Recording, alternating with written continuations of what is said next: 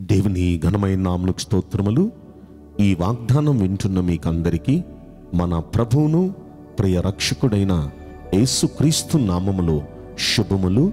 మా హృదయపూర్వకమైన వందనములు తెలియచేస్తున్నాం. ఈరోజు దేవుని వాగ్దానం యశాగ్రంథం గ్రంథం యాభై ఒకటవ అధ్యాయము పదహారవ వచనం. నా చేతి నీడలో నిన్ను కప్పి ఉన్నాను. ఈ వాగ్దానం మనందరి వెనికిడిలో మన మంచి దేవుడు నెరవేర్చునుగాక.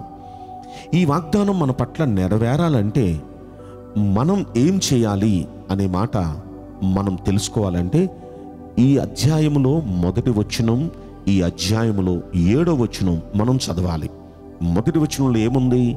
నీతిని అనుసరించుచు యహోవాను వెదకుచూ ఉండువార్లారా అన్నాడు. అంటే వారితో అన్నమాట వారితో ఈ మాట చెప్తున్నాడు. రెండవది ఏడో వచనం.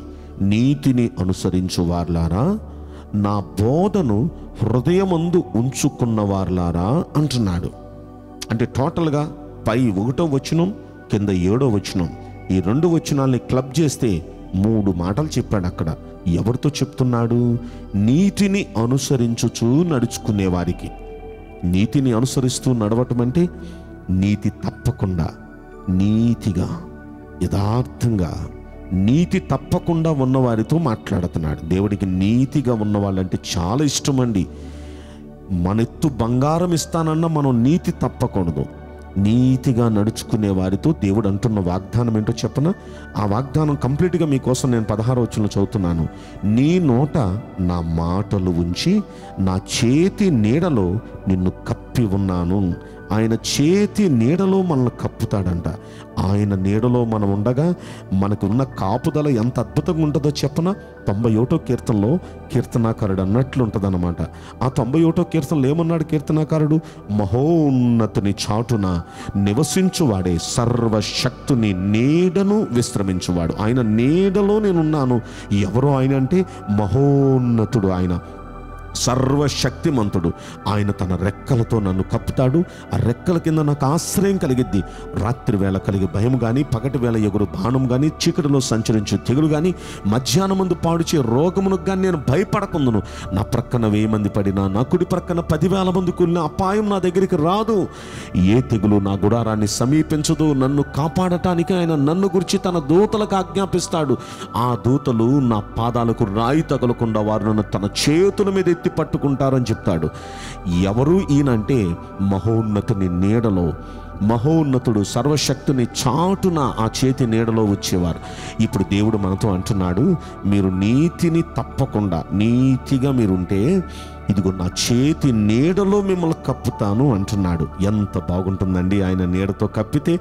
తొంభై ఒకటో కీర్తనలో ఉన్నదంతా మన జీవితంలో జరిగిద్ది. ఆయన నీడతో ఈ వాగ్దానంలో ఉన్న ప్రతి విన్ వాగ్దానం వింటున్న ప్రతి వ్యక్తిని ఆయన తన చేతి నీడలో కప్పును గాక. నీతి తప్పకుండా నీతికి నిలబడదామండి.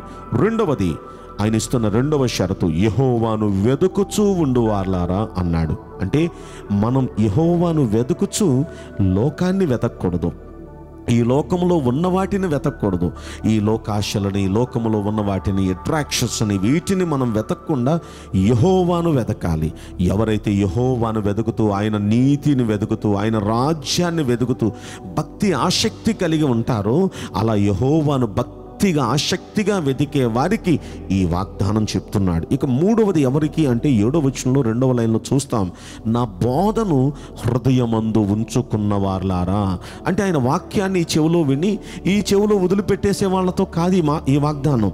ఎవరైతే ఈ దేవుని వాక్యం శ్రద్ధగా విని హృదయంలో ఎవరైతే దాచిపెట్టుకుంటారో వారికి ఇస్తున్నాడు ఈ వాగ్దానం నా చేతి నీడలో నిన్ను కప్పి ఉన్నాను అని. ఈ చేతి నీడలో కప్పితే ఎంత అద్భుతంగా ఉంటుందో తొంభై ఒకటో కీర్తనలో మనం విన్నాం కదా ఆ నీడతో దేవుడు కప్పాలి అంటే నీతిగా ఉండాలి మనం నీతి తప్పకూడదు. రెండవది ఆయన ఆయనను వెదకాలి ఆయనను వెదకుచూ ఉండాలి. లోకాన్ని లోకంలో ఉన్న వాటిని కాదు. ఇక మూడవది ఆయన బోధను హృదయంలో దాచుకోవాలి. హృదయంలో దాచుకోవాలి ఆ వాక్య ప్రకారం జీవించాలి. ఈ విధంగా జీవించే వారికి అద్భుతమైన వాగ్దానం. ప్రియ దేవుని బిడ్డలారా వింటున్న మీ అందరి పట్ల నా మంచి దేవుడు ఈ వాగ్దానం నెరవేర్చి ఆయన చేతి నీడలో మనలందరినీ కప్పునుగాక. ఆమె నేను మీకోసం ప్రార్థన చేయబోతున్నాను. పరిశుద్ధుడా ప్రేమగలేసురాజా మీ పరిశుద్ధ బంగారు పవిత్రమైన నామ్మునకు నిండు మనసుతో కోట్ల కొలదిగా స్థుతులు స్తోత్రములు వందనాలు చెల్లిస్తున్నాం తండ్రి. ఈ వాగ్దానం వింటున్న ప్రియుల జీవితంలో దయచేసి ఈ వాగ్దానం నెరవేర్చి మీ చేతి నీడలో కప్పండి ఆశీర్వదించమని ఈ కొద్ది మనవులు నజరుడని యేసు క్రీస్తు ప్రశస్తమైన నామ్ములు మిక్కిలి వినయముతో ప్రార్థించి బ్రతిమలాడి వేడుకుంటున్నాం. ప్రియ పరలోకపు తండ్రి Amen. May God bless you all. Thank you.